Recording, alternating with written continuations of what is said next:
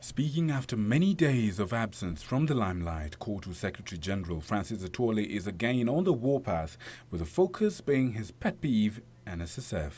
Atwoli is warning NSSF to abandon strong-arm tactics aimed at pressurizing employers to remit the new controversial NSSF rates as a court process blocking the rates is still underway. Remember that uh, they literally rushed a law that requires workers to be deducted 1,000 shillings every month to NSSF. We annulled that law under this order, of which we'll get copies. And if you want to know that there is impunity in this country, the NSSF and the Minister for Labor still writes to employers, some employers who are not aware that the matter on the new deductions are in court, to continue remitting 1,000 from workers.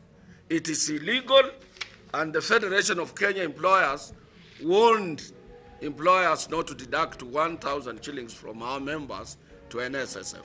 Atwoli warns that he might be forced to lobby all trade unions in the country to force employers to stop remittances to NSSF, which he claimed was corrupt and acting with impunity. Atwoli also took issue with the Labour Ministry, claiming it is propagating massive corruption at NSSF, asserting that contributions per year have fallen from just over 1.1 billion to 600 million. For the last two years, the contribution to NSSF has gone down per month from 1.1 billion to 600 million per year.